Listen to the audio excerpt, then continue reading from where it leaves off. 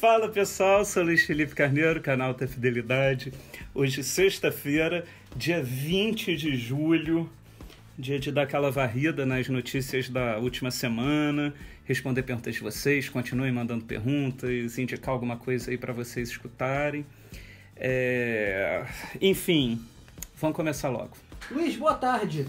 É, o Liam, no outro dia, a gente fez uma matéria aqui que ele detonou o Fred Mercury. E agora o baixista do Blur, o Alex James, esculachou o Robert Plant e o Mick Jagger. Essa turma gosta de um, não gosta de um grande frontman, não é mesmo? que patético você lendo isso, cara. Amadureci, Luiz, não grito mais. Amadureci em nome do público. Pois é, o Alex James, ele é o baixista do Blur, né? E acho que tá na moda, né? Porque deve ter duas semanas eu falei sobre o Liam Gallagher aqui falando, duas ou três ou quatro, sei lá, falando mal do Fred Mercury. Os fãs do Fred Mercury ficaram revoltados, tudo. E agora o Alex James do Blur meio que deu uma detonada no Led Zeppelin, nos Rolling Stones, em especial Robert Plant e o Mick Jagger. É curioso que para mim os três maiores frontmans da história são Fred Mercury, Robert Plant e Mick Jagger. E ele falou ao Mirror, ele disse o seguinte: existem boatos de que o Led Zeppelin vai voltar e ninguém realmente está interessado em o, escutar nenhum disco novo do, do Led Zeppelin. É, eles querem mesmo escutar Story to Heaven. É, quantos anos eles tinham quando gravaram Story to Heaven? 20 ou alguma coisa? E quantos anos eles têm agora? They are fucking 70 é, 70, né? E então ele falou que realmente tá meio cansado dessa coisa dessa galera mais velha gravando essa coisa de volta, não sei o que, ah, vamos gravar o disco novo, porque na verdade as pessoas só querem escutar as coisas antigas. Eu acho que ele, né, de alguma forma, tem razão, porque se o Led Zeppelin amanhã voltar, oh, vai sair um disco novo do Led Zeppelin, eu não sei se. Eu acho que quem acompanha o canal teria muito interesse em escutar um disco novo do Led Zeppelin, mas o público em geral eu acho que vai estar mais interessado em ir ao show lá no Maracanã e filmar Story to Heaven e postar no Instagram, né? Pelo menos é o que eu penso. Mas ele vai ter 70 anos um dia também, né? O Alex James. Vai chegar a hora dele também. De... Ah, vai, né? Mas. Aí ele falou o seguinte: é... Deixa eu ver aqui.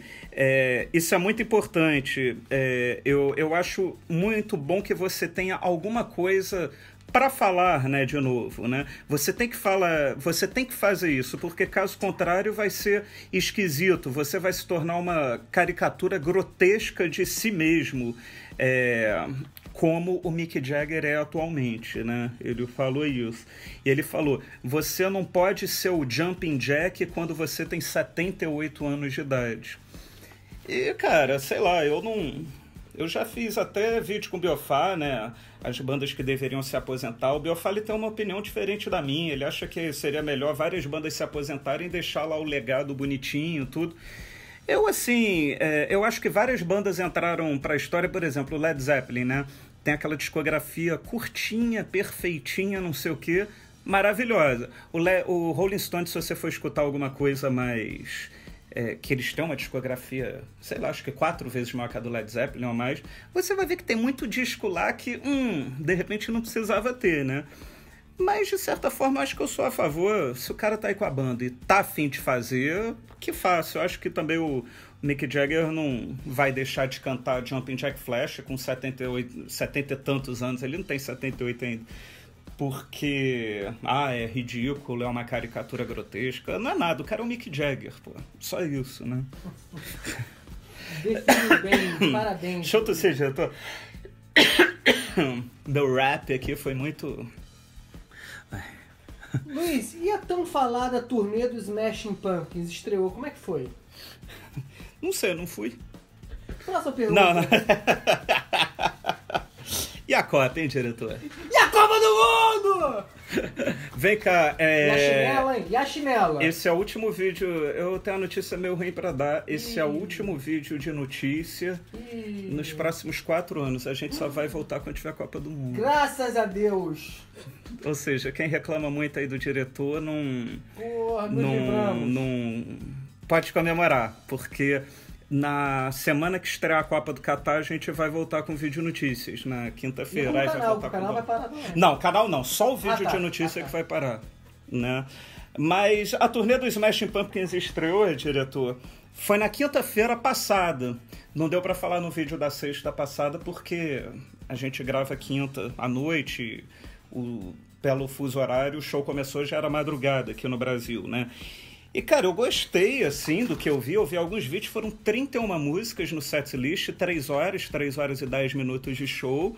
Billy Corgan tá com vontade. Muita música do primeiro disco, do Siamese Dream, do Melancholy, Pô, ele começa o show com uma das minhas prediletas, que é Disarm, que é uma música do Siamese Dream.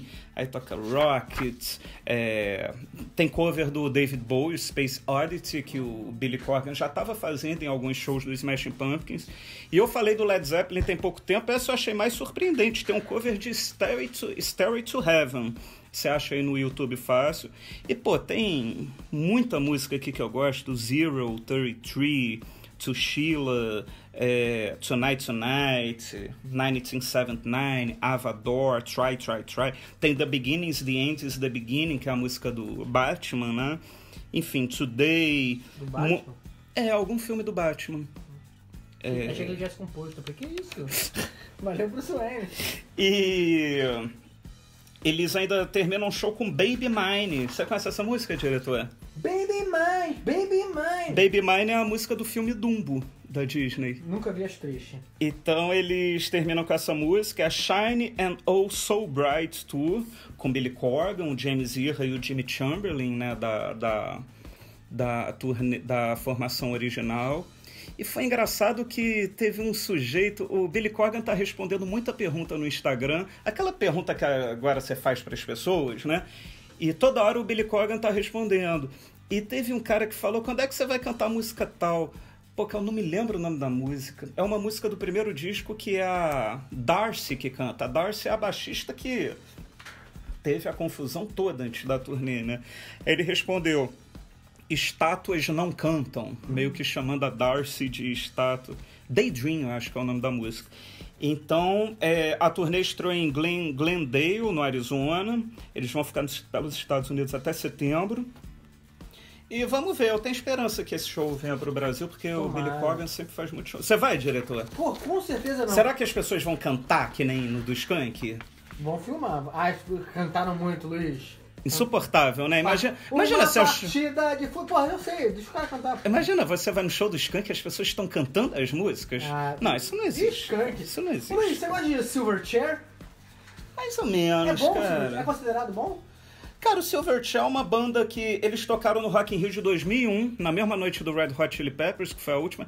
E na época eu não tinha o mínimo interesse, era uma garotada, acho que na época tinham 17, 18 anos, novinhos, tudo. Cara, assim, eu não faz muito meu estilo não, mas eu também confesso, é uma banda que eu pouco escutei.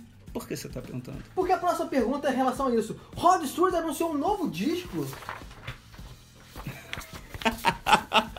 Fiquei curioso. Rod Stewart, pois é, a capa tá aqui. Ele se chama Blood Red Roses. É, já saiu o primeiro single, que é Didn't I. E sai no dia 28 de setembro o disco. É, daí saiu lá o, o release, ah, é um disco de músicas pop rock com um, um, toque de música country, não sei o que. O último disco dele foi o Another Country de 2015, que eu não gostei muito. Eu gosto do anterior, eu não sei se é Time o nome do disco, hoje eu tô mal de nome. Foi o disco que ele lançou junto com a autobiografia dele. Aliás, cá pra nós, eu adoro Rod Stewart, porra, o cara é muito. tem cara de ser muito gente boa. Os, aquela música Tonight's the Night, a gravação original é das coisas mais lindas que tem. Mas, cara, ultimamente você pega os últimos discos dele. Ele virou né? uma caricatura dele próprio. Eu acho que a melhor coisa que o Rod Stewart fez nos últimos 20 anos foi a autobiografia dele, que ele escreveu, que realmente é bom demais. Mas o último disco do Rod Stewart, que eu falei, cara, isso é do caralho, foi o Unplugged, né? Que nem é um disco de inéditas, é um disco com músicas antigas. E são 13 músicas no disco novo e também vai ter edição especial com 16. Eu não entendo mais essa coisa. Agora todo disco tem edição normal de 13 e edição especial de 16. Cara, sei lá, é um disco. Se você acha que o disco só tem que ter as 13, põe lá. Ou então põe 14, então, mas sei lá, tem essa edição que é de Lu com três músicas a mais. Eu não vejo sentido nisso. E aí ele falou, eu sempre quando gravo álbuns eu tenho a sensação que eu estou fazendo para alguns amigos, não sei o quê, e ele falou que é isso que ele sente, que ele faz tudo com muita sinceridade e honestidade. Então, essa sinceridade, essa honestidade que ele tem na vida dele, ele coloca nas composições. Então, mente pra gente que tá muito ruim ultimamente, Rod Stewart. Olha só, tem também um mega lançamento do David Bowie. David Bowie. Porra, que maneiro. Você já botou a foto? Tem, tem que ocupar a tela toda a foto desse lançamento. Já ocupei, botou? Ocupei, a tela toda. É mesmo? Uhum. Posso, agora eu posso voltar a falar? Não, vai ficar essa tela mais um tempinho. Pode falar. Bom, o David Bowie ele já tem três caixas. Pô, eu tenho as três, é sensacional. Quais são os nomes aqui? Eu até anotei. É o Five Years, que vai de, vai de 69 a 73, o, o Who Can I Be Now, que vai de 74 a 76, e a que eu mais gosto, The New Career in, in a New Town, que vai de 77 a 82, que é a fase Berlim, né? E agora ele vai lançar o Loving the Alien, que anos 80. A caixa vai ter os três, três discos dos anos 80, Let's Dance, Tonight e Never Let Me Down. E o que é legal é que o Never Let Me Down tem a versão original e vai ter um outro Never Let Me Down que é meio com. Eles meio que regravaram o disco novamente, com outros músicos, não sei o quê. E era um trabalho que o Bowie já estava querendo fazer isso, só que não deu tempo dele fazer, ele morreu, tudo. Mas era uma coisa que era uma ideia dele, meio. Não sei se ele tinha algum problema com a sonoridade do disco, ele queria refazer. Então, essa caixa vai ter esse disco. E além do mais, essa caixa tem muita coisa. Vão ter. É, são 11 CDs ou 15 LPs, sai no dia 12 de outubro. Além desses discos que eu falei, vai ter o LP duplo, LP e CD duplo Sirius Moonlight. Live 1983, que é a turnê do Let's Dance, e vai ter o Glass Spider Live Montreal 87. Esse daí é um LP triplo. E esse Sirius Moonlight existe um DVD, só que nunca saiu em CD ou LP. E o Glass Spider, quando saiu a caixa de DVD dessa turnê, saiu junto um CD duplo na versão importada. Só o CD duplo, então é esse CD duplo que agora vai virar o LP triplo. E além disso, ainda tem um LP duplo de remixes, que era um disco que ele estava querendo lançar na época, remix da, dessas músicas dos anos 80, mas acabou engavetado, então vai sair agora.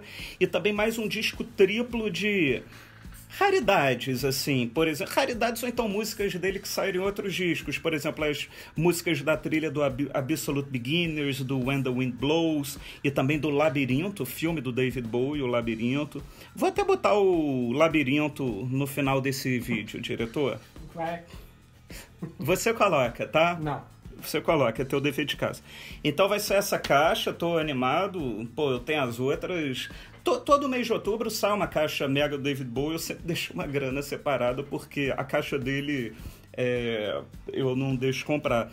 E continuando no David Bowie, ele vai ganhar mais um documentário sobre o início da sua carreira, se chama Life Before Ziggy, Remembering David Bowie's Early Years. Isso porque já existe um documentário dele chamado Five Years, de 2013, que é o início da carreira dele, e tem o mais recente, que é muito legal, que é The Last Five Years, que são os últimos cinco anos dele, a gravação do The Next Day e do Black Star. Então vai sair esse que é o David Bowie antes de tudo, né? E só vai sair em 2019 esse filme, mas vai sair. Ô Luiz, tem lançamento hoje para mostrar? Tem. Tá onde? Tá lá? Mostra tá. pra gente. Bom, essa semana eu vou destacar Avohai, 40 anos, remake pop rock. O Avohai está fazendo 40 anos esse ano de 2018, são em 78. É o disco clássico do Zé Ramalho. Então aqui, o Zé Ramalho foi o diretor artístico desse disco, lançado pela Avohai Music em parceria com a Descobertas. E o que, que eles fizeram? Regravaram é, diversos artistas da nova geração regravaram o disco. Por exemplo, Eminência Parda regravou aqui Avo High, Paul Rock Vila do Sossego, Via Rock, Chão de Giz, é, Robertinho de Recife, esse já é mais da velha guarda, ele regravou aqui Bicho de Sete Cabeças. E esse disco está sendo lançado hoje, está chegando hoje no Spotify, aí, nos streamings todos, não sei o quê. E achei muito bacana, escutei agora. Fica aqui a dica, sugestão desse fim de semana. Avohai, 40 anos, remake pop rock. Luiz, pergunta da semana, o Theo Aumentou Sil- a voz agora? Eu voltei, tem tempo já. Theo Silveira, ex-Big Brother, ele perguntou. Por quê? Tem cara de nome de ex-Big Brother, alto fortão. Vai te processar, hein? Theo Silveira. Luiz, você vai ao show do Roger Waters aqui no Brasil? Cara, responder essa pergunta porque tá todo mundo. Tô recebendo um bando de mensagem privada. Você vai, você vai, você não vai. Cara, eu não devo ir, realmente. E- Esses ingressos aqui no Brasil tá tudo muito caro. Você é maltratado pra caramba. O banheiro fica a 3 km de distância.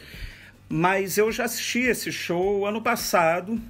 E vou em setembro ainda, porque eu tava vendo o Waters, ele vai ficar quase que o mês inteiro no Brasil, ele vai dar show em um bando de lugar. Então, antes da turnê, não sei se em setembro, iníciozinho de setembro, eu vou fazer um papo reto só sobre o show do Roger Waters. A única coisa que eu tô numa dúvida danada. Às vezes alguém é muito fã do Roger Waters e tem até essa informação. Se alguém tiver e quiser comentar aqui embaixo, eu ficaria muito grato. Porque o show que eu vi lá nos Estados Unidos, em Nova York, a turnê norte-americana era em ginásios. Então o palco era aquele estilo YouTube, né? Que tem o palco e o telão que cobria o ginásio todo. Só que os shows aqui no Brasil vão ser em estádios e isso deve ser caríssimo você trazer essa estrutura de telão. Então eu não sei se essa estrutura vai estar nos shows do Brasil, porque eu vi que alguns shows em Você tava da outra vez, pô? ah, mas é diferente, cara. Outra vez era o palco imenso do The Wall. Esse é um palco imenso e mais aquele telão cobrindo É o ginásio ainda? todo. É mais grandioso ainda. Ih, rapaz. Então, é, é tipo aquele do YouTube, que você sabe qual é. Então, das duas, duas últimas, não, da, da Innocence e da Experience, né, do YouTube. Então, eu não tenho essa informação, porque eu vi que em alguns shows em estádios na Europa ele usou esse telão. Mas, por exemplo, o show no Hyde Park, que ele fez há duas semanas, ele não usou. O show no Hyde Park foi só o palco principal, entendeu? Então eu não sei, mas de qualquer forma, o papo reto eu vou falar dessa questão de telão, tudo. Aí teve gente que falou: ah, porque eu tô com dinheiro aqui, mas o dinheiro tá contado, você acha que vale a pena? Ah, cara, sei lá, né? A única coisa que eu acho que tem que levar em conta é que eu não sei se a gente vai ter outra oportunidade de ver o Roger Waters na vida. Então, se você é fã, você quer muito, pode ser uma oportunidade É uma única, experiência né? pra vida toda, Luiz. Esse dinheiro vai acabar indo embora uma coisa que não vai. Pois é, até, É, até é. o diretor. Até o diretor gostou do show do Roger Waters. eu só vou esse show do Roger Waters se o diretor for comigo, senão não vou. Eu não. só vou se a batalha ganhar. Batalha agora. A gente deve ao show ou não? Olha aí, hein? Se for. O público vai pagar o ingresso. Olha só, e cancela a batalha. olha só. Tem agora um grande jogador de futebol italiano que perguntou pra gente. Pergunta Led Zeppelin. O Paolo Di Carlo perguntou. De que time? Fiorentina? Milan. Milan, É, caramba, Paolo Di Milan. Carlo perguntou. Pô, cara, deixa eu só fazer um parênteses. Eu gosto muito daquela revista, a 442. 442. E teve uma época que eu assinei no iPad, mas eu parei porque eu não tinha tempo de ler. E agora eu voltei, né? Depois da Copa você fica todo empolgado, tudo, quer acordar cedo para ver jogo, sei lá, Getafe, Sevilha. Então, é, eu fui pegar algumas edições antigas que estavam armazenadas no meu iPad e tinha uma edição que a, capa é o Gullit, o Rijkaard e o Van Basten, aquele Milan dos anos 80. E, cara, que matéria primorosa para você escutar. E o que eu quero comentar é que tem um lance que o Van Basten, ele era muito antissocial. Mas ele era antissocial não por ele ser escroto, assim, é porque ele era tímido. Então o time saía lá pra balada, ele gostava de ficar em casa fazendo, sabe o quê? Com a mulher escutando George Michael. Isso fez subir ainda mais o meu conceito Van Basten, que pra mim já é um dos jogadores que eu mais adoro.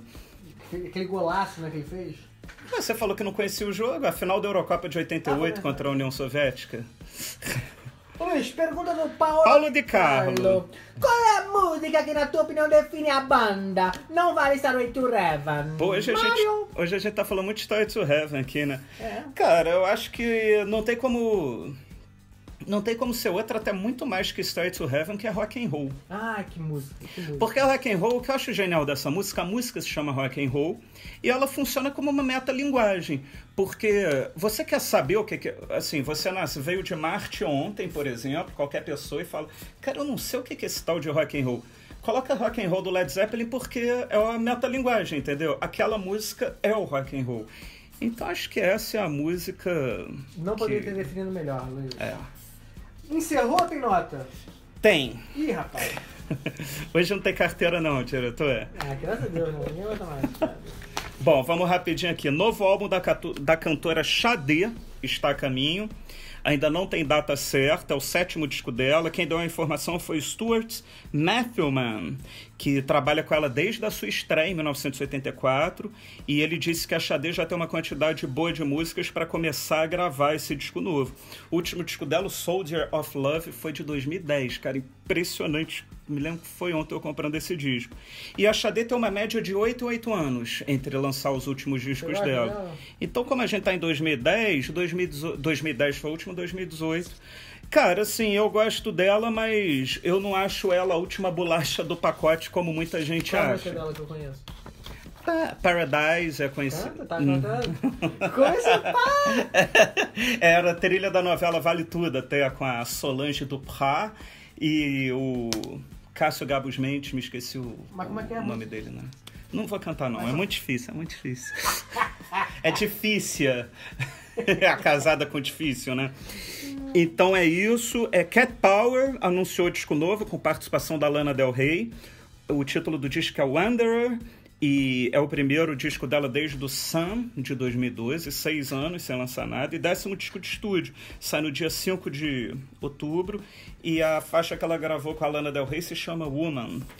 E Bruce Springsteen, diretor, hoje vamos fazer duas notas do Bruce Springsteen. Vamos fazer três. Show do Bruce Springsteen na Broadway vai virar especial da Netflix. Bom, ninguém conseguiu ingresso para esse show. Quase ninguém, né? Geral reclamando, tô falando que tá muito. Se você conseguir, se você quiser ver o Bruce Springsteen. Se você quiser ver o Bruce Springsteen na Broadway amanhã na última fileira, você vai comprar no Mercado Livre por pelo menos 1.200 dólares o ingresso, Que né? isso. Então, bom, o meu eu consegui comprar no site. Vamos vender isso aí, fazer uma festa. Vamos pro Roger Waters com esse dinheiro. E o último dia da temporada vai ser dia 15 de dezembro. E temporada de 236 shows no Walter Care Theater, que tem 948 assentos, é um show intimista, tudo. E essa semana, acho que foi terça e quarta, a Netflix gravou dois shows que não foram abertos ao público, foram shows só para convidados. E através dessas duas gravações que eles fizeram, eles vão editar para lançar no dia 15 de dezembro, que é exatamente o dia do último show do Bruce Springsteen, né? Talvez eu tenha que descobrir o que é a Netflix nesse dia, que eu não sei nem do que se trata.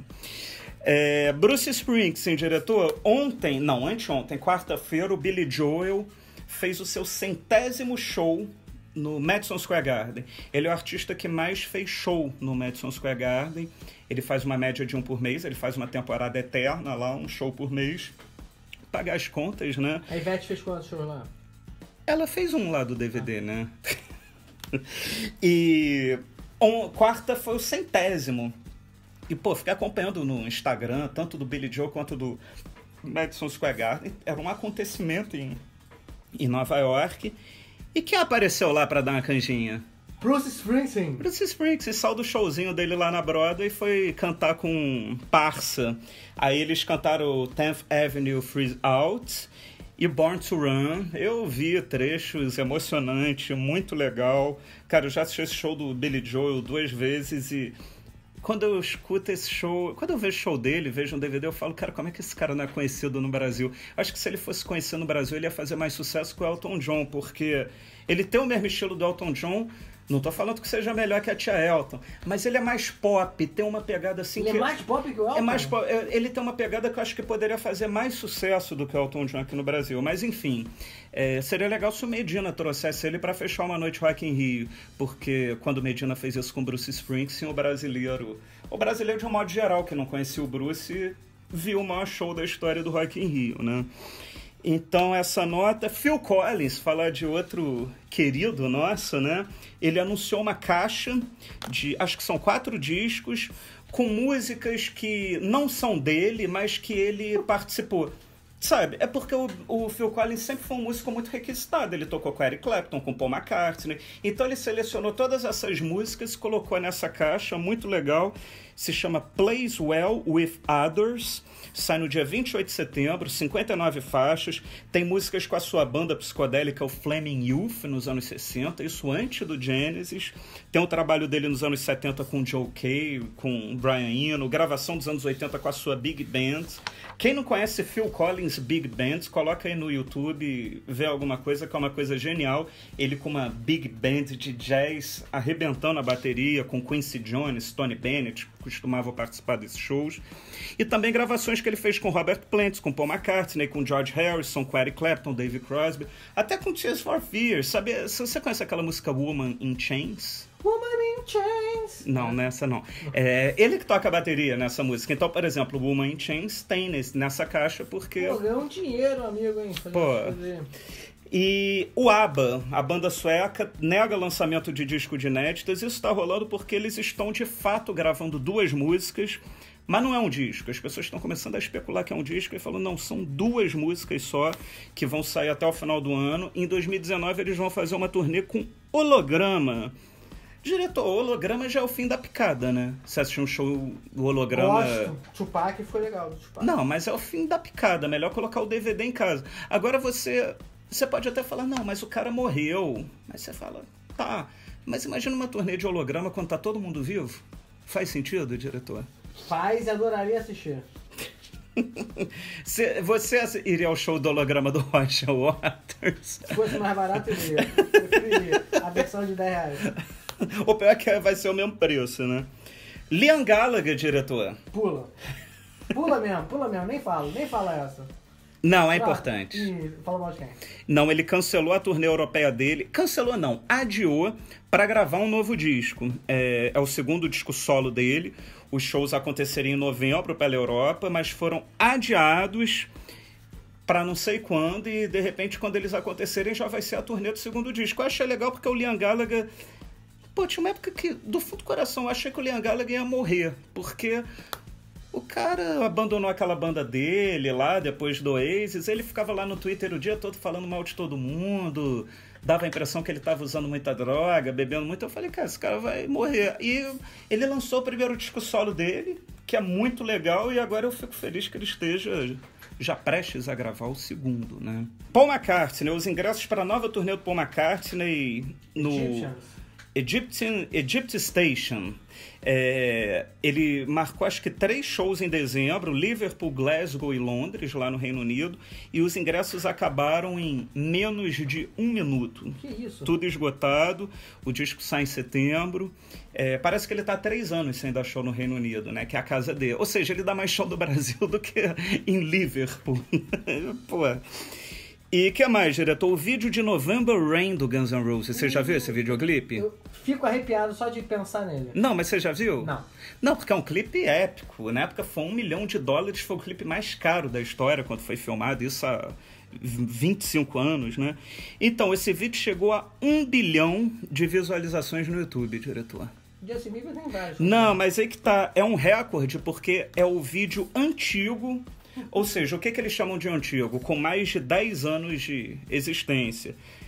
A chegar a essa marca. Porque tudo bem, o Justin Bieber pode lançar uma música hoje e chegar a um bilhão. Mas um vídeo antigo é por isso que eu estou dando esse destaque aqui, porque foi um recorde. É um vídeo de 9 minutos de duração, épico, sei lá. É tem... melhor que aquele do, do, do Ahá, que é desenho animado? Cara, é diferente, é diferente. Mas eu, o, o, esse vídeo do November Rain tem uma coisa histórica, porque ele foi o último vídeo meio que daquela era da MTV de vídeos milionários, quando a gravadora pagava um milhão de dólares por um videoclipe. Foi o último. Depois do November Rain não teve mais essa coisa do videoclipe. Até Condzilla chegar, né? Condzilla, bilhões também. Ah, mas aí é outra era.